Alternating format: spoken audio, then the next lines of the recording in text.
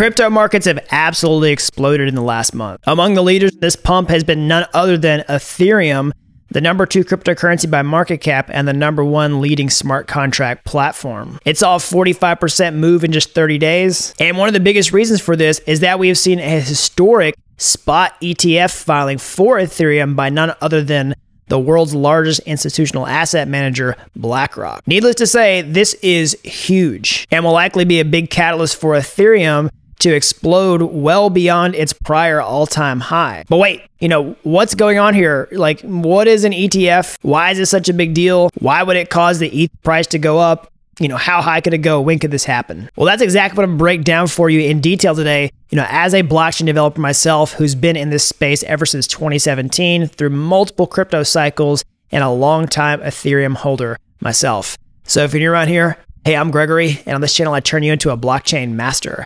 So if that's something that you're interested in, then smash that like button down below for the YouTube algorithm and subscribe to this channel. And if you want to know how to become a blockchain master step by step start to finish, get ahead of the next crypto explosion, then I can show you how to do that over at dappuniversity.com forward slash bootcamp.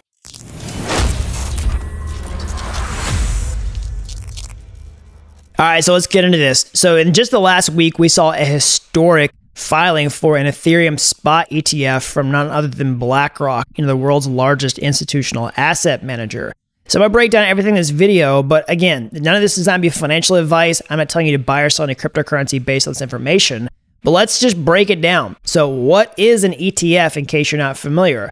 Well, ETF just stands for Exchange Traded Fund. So basically, it's a way for you that you can purchase shares in a fund on a you know like a traditional brokerage website that represents something else besides, you know, the thing you're buying underneath. So you might have heard of an index fund where you basically purchase a share in the index fund and that, you know, represents a lot of different stocks that make up that. And you're basically getting broad exposure to the broader stock market through purchasing those shares. That's a really popular example. Now, the whole idea is basically creating crypto ETFs where people can purchase shares in this in these ETFs where they're not actually buying the actual cryptocurrency underneath.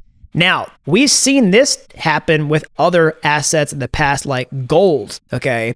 Where the gold ETF went live around 2003, and what happened to the price of gold after was tremendous. It skyrocketed after the ETF was created, and there's lots of hope that a very similar type of thing could happen to crypto. Well, why is that? Well, BlackRock is the one that is filing these ETFs for first for Bitcoin and now for Ethereum. So, in case you're not familiar with them, they're the world's largest institutional asset manager. And so you have to understand that it's institutions that want exposure to the cryptocurrency asset class. And one of the preferred vehicles for them to do this is through ETFs. Okay. And that that's going to make it a lot easier for them to participate in it rather than just going out and like buying cryptocurrency on a website like Coinbase or Binance. They're not going to do this.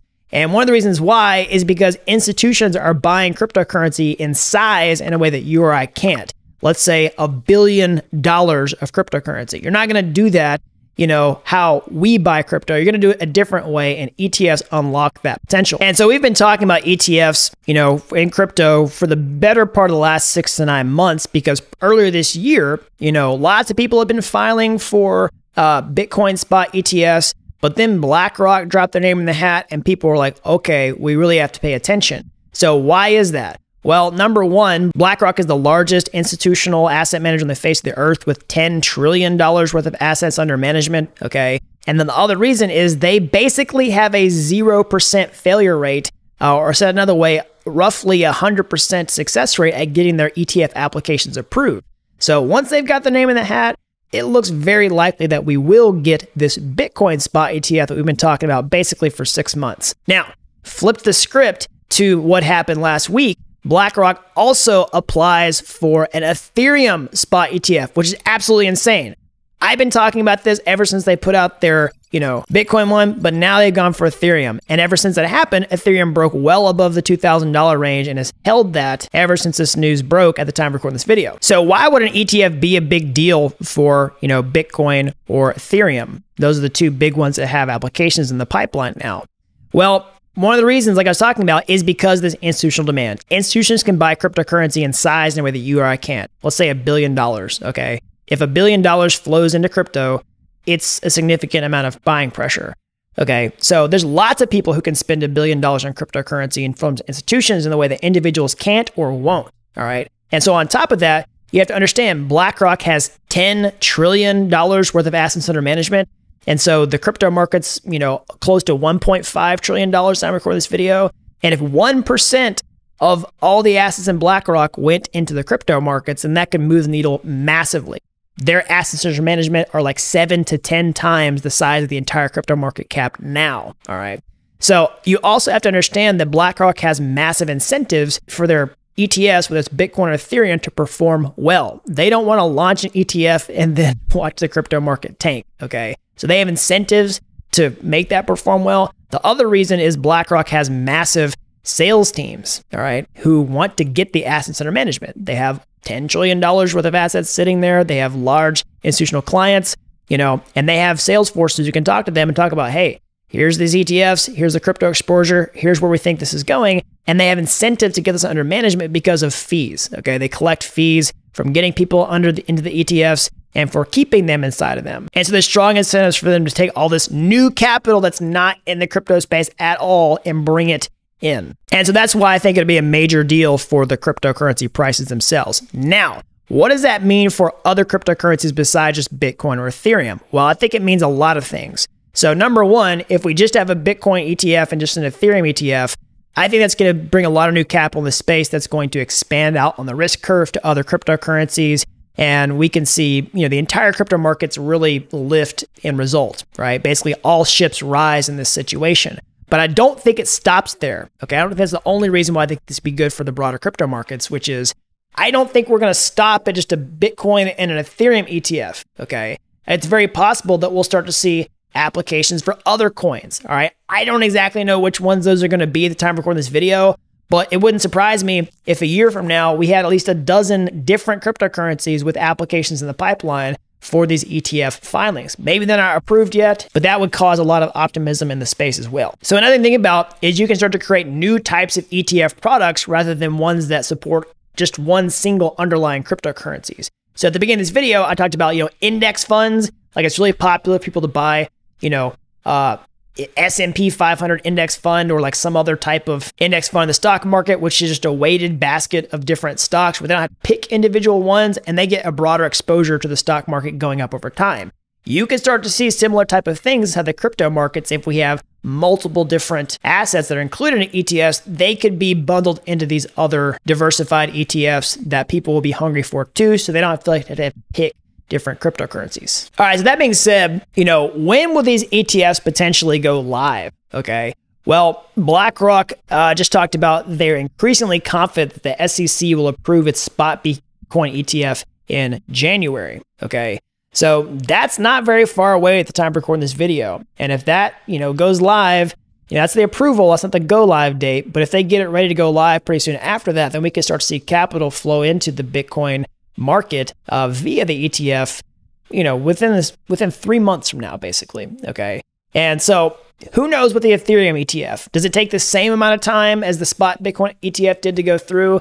We see them get approved at the same time. Nobody's got a crystal ball to know that information for sure, but we are seeing people jump in the crypto space to get ahead of this. And so that being said, if people are front running it and the entire crypto space is starting to shift towards of a bullish, more of a bullish bias, how long will it take us to break all-time highs and where could we go? Like how high could the numbers go for these particular cryptocurrencies that have ETF approvals? So let's just do some speculation here. Okay, none of this is designed to be financial advice. I'm not forecasting this as an official prediction on this channel or anything like that. But let's just do some basic reasoning. Okay, let's assume that an asset like Bitcoin, you know, has you know diminishing returns over time. So you know it's not going to go up 10x this cycle if it only went up like 3x last cycle. So you know Bitcoin was let's just call it roughly 3x the last cycle. Let's say you could put in a 2x this cycle. Well, then that basically would be you know about sixty thousand dollars um, you know, 2x would be $120,000. So let's call it 120 to 130. Let's add some more variation, 100 to 150. That seems to be a very common view um, based on this. Now, the ETFs could throw a complete wrench in this circuit, and maybe we don't have diminishing returns. Maybe we actually put in a similar level of return this cycle that we did last cycle, or even more. All right, that's also a possibility on the table. But what about Ethereum? Okay, so one thing I think is unique about Ethereum with the ETFs is that, you know, you can get price appreciation from Ethereum, but you can also get yields from the assets themselves. So that yield can be baked into the ETF, but it could also be a way where it's not baked in the ETF and people get to capitalize upon the yield that they stake for the, e- the thing that goes, you know, uh, underneath. So that being said, I think we can see a situation where it becomes even more explosive for something like Ethereum. But if we go by our basic model of having diminishing returns over time, all right, and you know, let's say Ethereum follows a very similar trajectory of Bitcoin of only putting in like a three to four x in the last cycle, that would put Ethereum, the cryptocurrency, you know, up at like you know fifteen to twenty thousand dollars. Okay, so th- that's kind of the projection there. Now, I'm not saying ETH is going to hit fifteen to twenty thousand dollars necessarily. I, you know, be, it'd be great went more than that, right? Trying to say that in this video, but I think it's very possible that we see ETH, you know, make a move towards 10k, which is one of the major targets from last cycle, and actually hit it this time. Especially we have support from ETFs like BlackRock. And so those are some of my general thoughts on the situation. Let me know what you think down in the comment section below. Are we going to see a spot Ethereum ETF approved at the same time of the Bitcoin ETF? Is the Bitcoin one actually going to get improved in January? Is Bitcoin going to actually make new all time highs? Is it going to go to 150K? Is it going to go 120K? Is it going to go way beyond that? What about Ethereum? Is it going to 2X, 3X? Is it going to 10X? I want to hear from you. And whenever you're done, you know, definitely smash that like button down below for the YouTube algorithm. Subscribe to this channel if you haven't already. That really helps these videos out so the more people can learn about blockchain. And if you want to get ahead of the next crypto explosion, uh, that I can show you how to become a blockchain master step by step, start to finish over at dappuniversity.com forward slash bootcamp. All right. You really don't have to be an expert to get started today. I've helped people with zero coding experience become real world blockchain developers in a matter of months. So that's all I've got. Until next time, thanks for watching Dapp University.